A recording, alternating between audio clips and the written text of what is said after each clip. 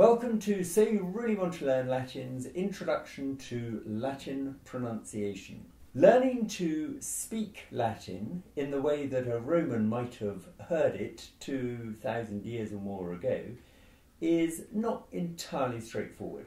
One huge problem we obviously have is the Romans aren't here to help us. But we've got a pretty good idea of what we think it sounded like. Um, and I'm just going to crack straight into telling you the way that most people believe Latin to have been pronounced.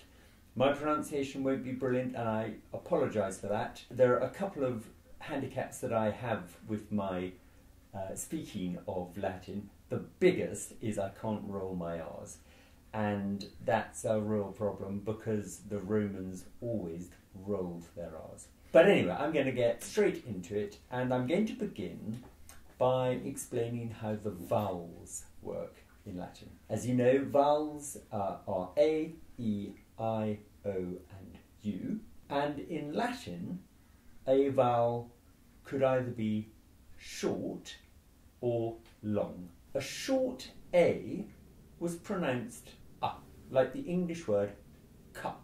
So we have the Latin verb amo.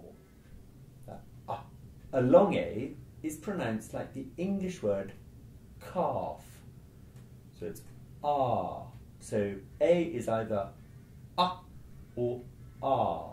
The letter E, if short, it would be like in the English word set, eh. And if it's long, it would be like the noise in the English word stare, air. So eh and air. A short I is like in the English word bit. So the Latin for he will love is amar bit, e. Short eyes, e. A long I is rather like the noise in the English word be, e and e. O, a short O is as in the English word lot or hot. And the long O, my teacher always used to say it's like the French word beau which is great if you can speak French. O, o, and o. So the Latin for I love, amo. You, so a short U is like in the English word put, u.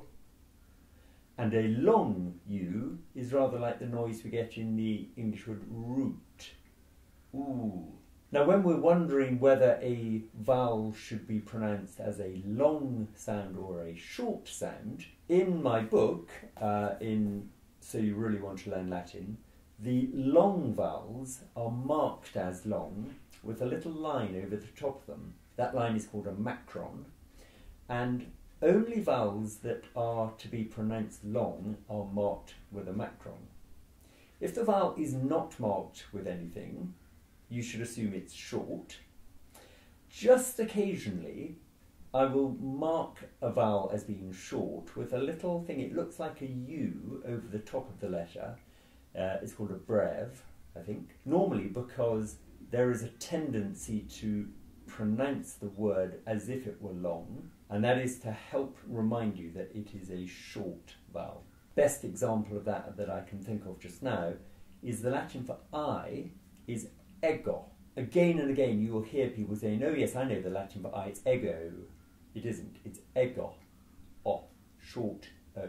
And again, a very, very peculiar area uh, for which I apologise is that some vowels can be pronounced either long or short, and it depends on the context whether to pronounce it long or short. This applies in Roman poetry and in Roman plays where uh, scholars over the years have discovered that a vowel could only have been pronounced long in one line of poetry or whatever, and in another they find that it could only have been pronounced short.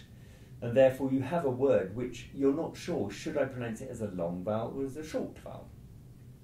There are a small number of such words in my course, so you really want to learn Latin, uh, and they are marked as such. The mark you will get is a combination of the macron, the line over the top, with the little u, and that combined mark is, is called marking the vowel as anceps, which is the Latin word for doubtful. Examples would be ibi, the word for there in Latin is ibi, and it's either ibi or it's ibi. The Latin for where is ubi or ubi. Something that is worth knowing is that the combination of letters ns or nf, that combination always follows a long vowel. So if you have a Latin word where there is a vowel followed by ns or nf, the vowel will always be pronounced as long. And what is a little bit peculiar is that that rule applies even across what is called word junction.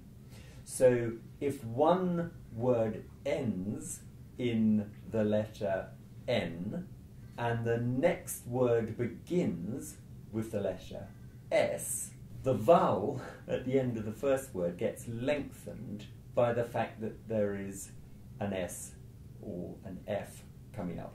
So, for example, the Latin for in the field is in agro, with a short I for in.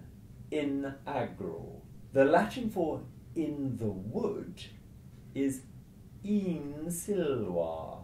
Now, what's happened is the Latin word in, which is normally a short I, when you try and put the in in front of a word that begins with an S, you end up with that combination I talked about of a vowel followed by N, S. The nice short Latin word in becomes in.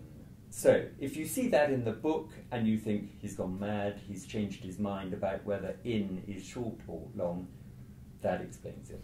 Please don't worry about it too much. The man who taught me Latin um, was really fussy about this sort of thing. He was an absolute legend, um, but very, very fussy about how Latin was pronounced. Uh, and he told me, you simply can't get that sort of thing wrong. So, in his memory, I'm going to try and keep getting it as right as I possibly can. Now, for diphthongs. A diphthong is where two vowels are pronounced together as one sound, not as two. In English, we have diphthongs in a word such as boil. The O and the I, it's not boil, it's boil. In the English word sea, uh, you know, the big blue wobbly thing that mermaids live in, the E and the A are a diphthong. It's not se, it's C. So we need to learn what the diphthongs sound like in Latin. So the Latin diphthong AE is pronounced like the English word I. AE is I. The Latin for the girls is puellae, A-E-I. A-U, that diphthong, is pronounced like the English word now. So the Latin for a sailor is nauta. A-U is ow. Those are the most common ones, but other ones to look out for are EI, uh, which would be like in the English word rain, UI, which would be a little bit like the French word oui, if you know your French. French for yes is oui. So UI would be oui. OE, not very common, but if you come across it, it would be boil. And the one that no one can get right, EU. It's a sort of L noise. I'm not even going to try any harder than that because it, it, happens very rarely. Well, the Latin for alas, which sort of means oh dear, is eheu, and you've got an, a short e, eh, and then an h, and then eu, eheu, and that eh noise at the end is my attempt at the diphthong eu. Okay, now moving on to the consonants. Um, the ones I want you to look out for. First of all, the letter C is always hard, k, never soft, s. So our old friend Julius Caesar was, of course, Caesar. He, he was not anything. His name was Caesar. Then we've got the dreaded R. The letter R is always rolled or trilled, and that's the one I'm going to have to leave you to sort out yourself because I can't roll my R's. Um, it's that lovely noise you hear people uh, making. I can't do it. But the letter R, always rolled, and just something to look out for is if there are two R's together, like in the Latin word that means land, which is terra, you should be rolling the double R in that word for twice as long as you would just roll it if there was only one R. So you get these lovely noises, which I'm afraid I can't make, but I hope you can. The letter S is a S noise, never a Z noise. So it's like the word bus. I'm going on the bus. It's not like I've got business to do. So S always S. The letter V uh, is pronounced as if it were a W. One of the things people remember about Julius Caesar is he famously said, veni, vidi, vici, spelt with a V all the way through, but it's veni, vidi, vici, not V anything. GN is a difficult combination. It crops up quite often. The Latin for big, for example, is spelled M A G N U S. G N in Latin was pronounced as if it were N G N. The Latin word that means big is magnus. Where you have a G and an N, just pretend you had an N and a G and an N, and you get that noise. A bit like hangnail, that, mm, that noise. Latin didn't have a J, so poor old Julius Caesar, instead they used the letter I. So the letter I in Latin actually doubles up. There is a vowel, I, which is I, and there is a consonantal I, which is creating the noise in Julius Caesar. Yeah. So it's, it's very much like a Y. And then finally, one rather silly thing I always think the letter M at the end of a word is said to be nasalized. Not a very nice sort of concept, really. The Latin for uh, I was loving, amabam, because the word is ending in an M, you've somehow got to nasalize that M. Amabam. And it it kind of sounds as if it's going back up your nose. A real purist, uh, like my teacher Theo Zinn, would make sure that when you have a word ending in an M, you, you kind of nasalize the M noise. Amabam. Okay, and on to some slightly simpler things. Um, and these rules uh, are interesting to study, but actually, what's peculiar is if you think about how English works, you'll find that the rules are pretty much the same. And this is how you stress a Latin word. In other words, where you put the emphasis in the word. And there are some very, very simple rules for this. A word of two syllables could only be stressed on the first of the two. Never stress the last syllable of a two syllable word. The Latin for I love is amo, with the stress on the first syllable. If we have a word of more than two syllables, if the penultimate syllable is a long syllable, then you stress it. If it is not a long syllable, you stress the one before. I just need to tell you that we've learnt that vowels can either be long or short. What you also need to know is that syllables are either long or short, depending on, on the one hand, whether the vowel in that syllable is long, and if it is, then that syllable by definition is long. But you can also have a syllable that contains a short vowel, but which the syllable itself is long because it contains the short vowel followed by two consonants. So a vowel followed by two consonants creates a long syllable. The Latin for a girl, for example, puella. In that word, we've got a short U at the beginning, pu, and then we've got a short E, e, and then we've got two L's. And then finally, the last letter is a short A, a.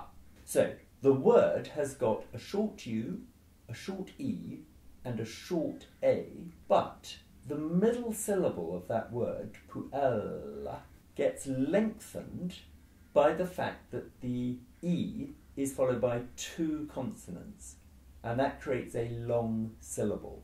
The rule of stress tells us that if the penultimate syllable of a Latin word is long, you stress it, and if it's short, you stress the one before. So our word puella is a really good example of that. The final syllable a we can ignore because you never stress the final syllable of a Latin word. Come back to the e vowel of puella. The e itself is short, but because it's followed by two consonants, you get a long syllable, puella. But if that penultimate syllable had been short, we would have stressed the syllable before that. So a word like regitis. Now, rego is the Latin for I rule, and in the present tense, it goes rego, regis, regit, regimus, regitis, regunt. Regitis is because it's a three syllable word. The final syllable you would never stress. The one before, it, is a short syllable and it contains a short vowel, so you mustn't stress that. You have to come one further back and you get to the first syllable, re. So regitis. I hope some of that made sense. Uh, the present tense of amo, which is one of the first things we learn uh, in the Latin course, you may have wondered, if you've watched that video, why uh, it goes amo, amas, amat, amamus. Suddenly we've stressed the different syllable. Amatis, amant. So if you go back uh, through the rule we've just learned about stress and work out which of the syllables are long and which are short, you'll see that it's a perfect illustration of where to stress a Latin word. Now that's a lot to cope with. I'm sorry, it's a it's quite a difficult subject. Um, I can't pretend I'm an expert. I love the language. I love translating it. I love writing it. I'm not very good at pronouncing it, and for that I apologise. But uh, hope that has helped. Don't forget, we've got the whole course on Fridays. Uh, new videos released every week. We've got a little grammar course which will help you with all the grammar you need for uh, learning Latin. So, plenty to uh, get stuck into with that. Hope it helps, and see you next time.